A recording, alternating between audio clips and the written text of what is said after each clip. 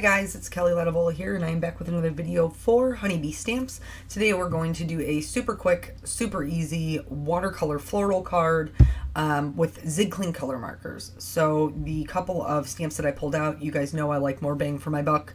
Um, so I'm using the Mother's Day uh, stamps and dies and then also the Thinking of You. Um, I showed the stamp. I thought I was going to use the stamp. I'm not going to lie. It didn't end up working out the way that I thought it would. So I ended up only using the die. But just so you know, there are coordinating ones.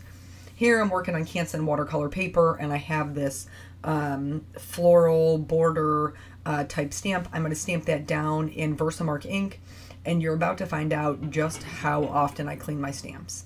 Which sometimes I'm good about, sometimes I'm bad about. Clearly, in this stamp set, I was bad about it because Versamark is a clear sticky ink, but you're going to see when I stamp it down that it doesn't stamp clear because I didn't clean my stamp. So it kind of reactivated that ink and left a, um, instead of being clear, it was more gray, which honestly is great for the video because then you can see uh, what I stamped.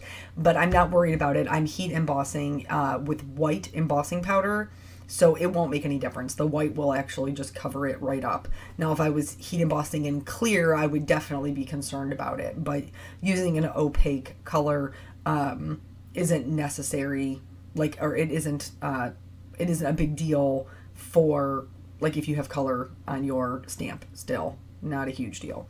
So I'm going to, um, like I said, heat emboss this in white. I believe this is Simon Says Stamp White embossing powder.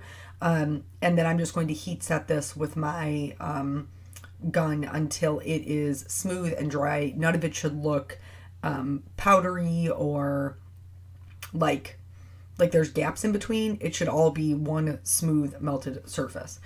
So the reason that I chose this stamp set is because uh, it gives me the look of a masked floral border without me having to do any of the work. I know it's a Mother's Day set, but like I said in the beginning, I like more bang for my buck, so you don't have to use them for just Mother's Day.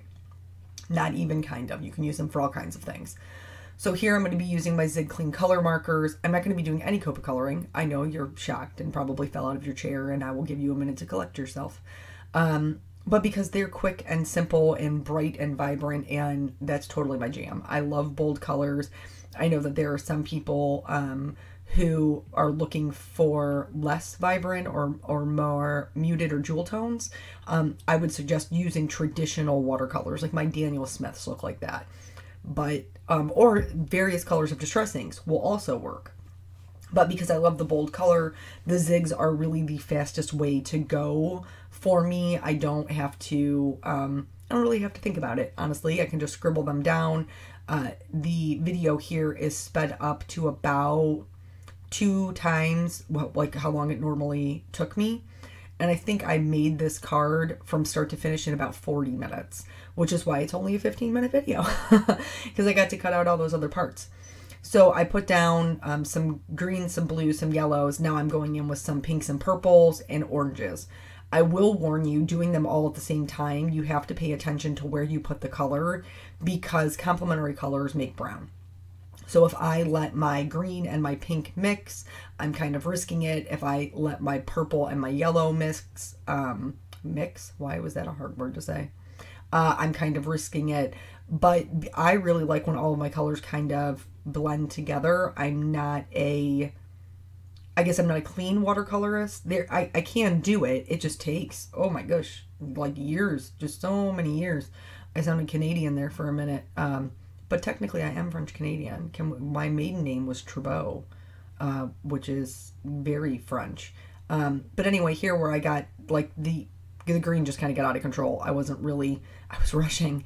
Um, so I wasn't paying a ton of attention. I wanted there to be some pink that kind of bled over into the edges since I am going to be die cutting it.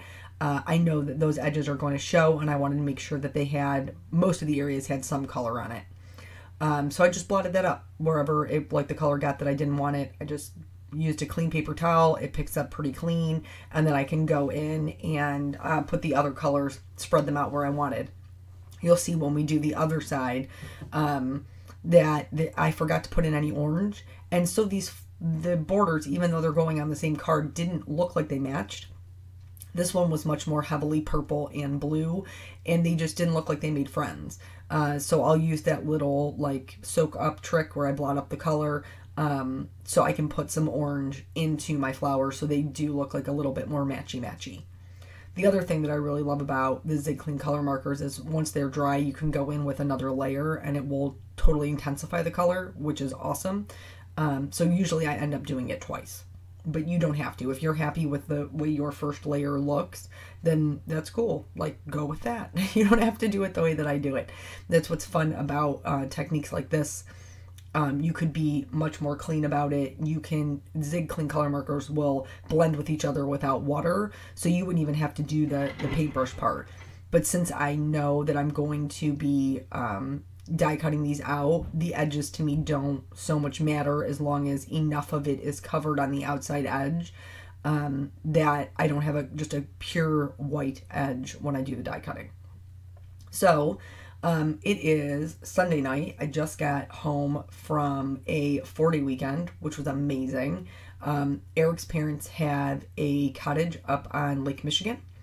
And so we left um, on Thursday evening and went up there for a couple of days. Uh, it was super awesome. His family is wonderful. Uh, we had great weather, like just glorious, beautiful weather. I actually got some a little bit of color uh, Eric jokingly calls me Casper, and really, honestly, it's not that far off. I'm, I'm pretty pale in the winter. Um, so, got to go up there and hang out. Uh, Molly came with us, and she just loved every minute of it because they totally spoiled the daylights out of her.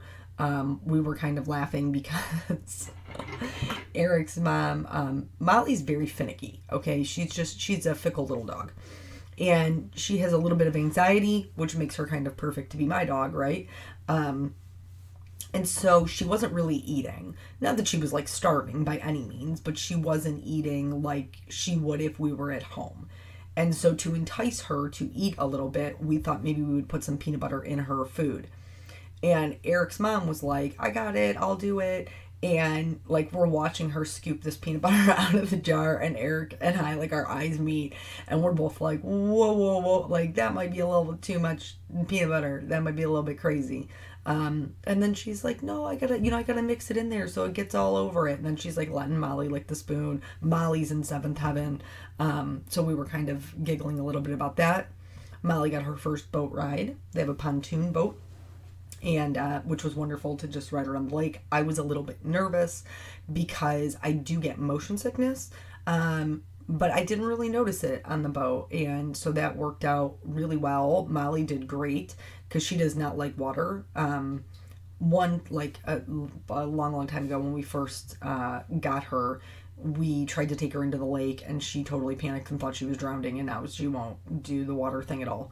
Um, but she did great on the boat, and we had previously taken her in a canoe, and she did awesome in that as well. So apparently, as long as she will be out on the water, as long as her body doesn't have to touch the water, then we're good. Um, so yeah, it was just it was super nice. Uh, they do have a jet ski, which is like Eric's favorite thing in the world to do. Uh, not so much for me. Not that I've never been on one. I have. Um, but I have some. basically, I told Eric, I'm like, this is trust issues, basically, because um, I don't trust you not to drive like a maniac and just scare me to death. Um, which honestly, I do think he would probably be good about it, but I know that that's kind of like his time to clear his head, so I want him to have that too. Um, yeah, so just really good. I didn't do any work outside of typing up one blog post while I was away, so my apologies for the week long gap. Um, because I know that you guys look forward to the videos and I'm so grateful that you do, but I also know that you guys are in my court as far as um, letting me have a little bit of a break as well. So this was a little bit of break time for me. Um, no real word on like what we're doing going forward with the puppy at the moment. As soon as I have more news about that, I will surely let you know. Um, and yeah, that's pretty much pretty much what I've been doing with my life. Fourth of July coming up next weekend or next week, so I'm excited about that because I get to see my family, and that's pretty much I think the only thing that I have planned coming up. Um, I have other stories to tell you, but I don't have enough time to tell you in just this one. So uh, anyway, back to the um, the card here. So I'm done with the watercoloring. I am like dried it all down, and then I basically spattered on some perfect pearls. I thought I also did regular droplets. Now I made this card like five days ago, y'all, so I'm trying to remember. I thought I did regular droplets, but clearly watching the video back, I must not have. Um, but I just wanted to, there to be some shine, and I think perfect pearls are super pretty on watercolor. Uh, if you do the perfect pearls while it's still wet, it's going to spread everywhere. Um, but if you do it while it's dry, it'll just leave the speckles here because I'm a firm believer in telling you all of the things. This is where the stamping did not work out. So originally my game plan was to do like a bluish green watercolor background. I'm just blotting up the edges there so that I don't have um, like a weird outer edge. But so I um, am doing that and I was, my game plan was so that it would look cohesive so I would have like some of the green edges from the flowers, and then I would have this stamped sentiment on like this watercolor greenish blue background. But I didn't, first and foremost, I didn't love the background. Uh, you, that's why I'm, I'm showing it to you, but I'm showing it to you at like four times the speed, um, just so you could see, in case you really did like it, uh, how I got where I was. Um, but I didn't like it. It was just, it, it was not what I was looking for and you'll be able to see it before we move on to the actual finished card. So I'm just going to heat set this and then I'm going to do this part. I know I did the, the clean water spatters. That's the here, this part. And then I'm going to blot it up with a paper towel and then um, do the same thing with the perfect pearls. Um, just spatter that on um, so that there was some shine in the background and they were, like I said, kind of matchy-matchy. I'm going to dry that down, dry down the flowers, and then here's the stamping part. So I picked, I stamped it in Ocean Drive from WPlus9, which is like a deep uh, green color. It's really, really pretty. And because it matched the green and the leaves that I did on the flowers, I thought that would be a good choice. Might have been a hair too much green. I'm not positive. Um, but so I stamped it twice because I'm stamping on watercolor paper, and you know it's hard sometimes to get a good impression. But that's the joy of the the MISTI. So here is how it would have looked. I didn't like it. It covered up too much of the flowers. So instead what I did was I used the die cut for the thinking of you. I'm just going to glue these down flat onto some Neenah Solar White cardstock. That's what my card uh, base is made out of. And then the thinking of you, what I did was I cut out two in white and one in black. And that's just, um, I'm going to glue them all together because intricate dies like this, it's really a pain to do like the tedious little foam pieces. This is a much easier way to get some dimension on your um, intricate die cut sentiments, or I mean, really any intricate die cuts. You could just stack them up together like this. I'm using Tombow Mono Multi Glue, but you can use, I know, um, like Jennifer and Christina use the Ranger Multi Medium Matte because it uh, dries where it's not shiny.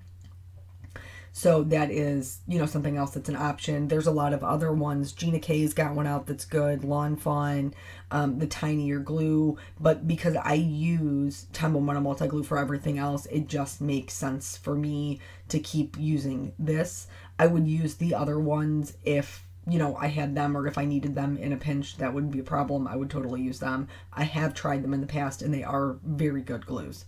I just like this one because it's repositionable. So once I get all three of them um, lined up and put together, I will do that for all of them, the, the thinking of you, all, all the little die cut pieces. And that maybe took me, I don't know, five, ten minutes. Um, and then once those are done, I'm going to glue them down directly to the card. I don't need to put, put foam tape behind them because, like we just talked about, that's why we did all of the stacking. Um, and I'm going to adhere the thinking at a little bit of an angle. I think it adds a little bit of interest and then it allows me to kind of tuck the of you um, up in there uh, where like the G comes down and make it um, like the design a little bit tighter, which is just how I prefer my designs when I am doing a card. I like my sentiments to kind of be tucked into my focal point. I don't typically um, you know, put a design in the bottom right hand corner and and the sentiment in the top left hand corner. here, um, the next thing that I did was I used uh, these, this is called Back to Basics. Um, Honey Bee has a bunch of different color enamel dots. This one is the black and white one. That's the Back to Basics. I thought the black ones would look awesome right next to it. Um, like I said, I was rushing. These were super quick and easy. They stuck really well. And then I'm using just some clear glitter to go over the black letters because I love, love, love, love, love the way that looks. Um, and then if there even sometimes like where I'll trap it underneath some glossy accents, but I didn't this time. Speaking of glossy accents, I used that to just kind of highlight the berries since they're the same color as all of the flowers. This just adds, um, you know, a little extra something to make them kind of pop forward. And then honestly, that's it. That's the whole card. So thank you guys so much for joining me. I will be back soon with other cards. I've got two videos in the hopper that I need to edit. And I will catch you on the next one. Bye.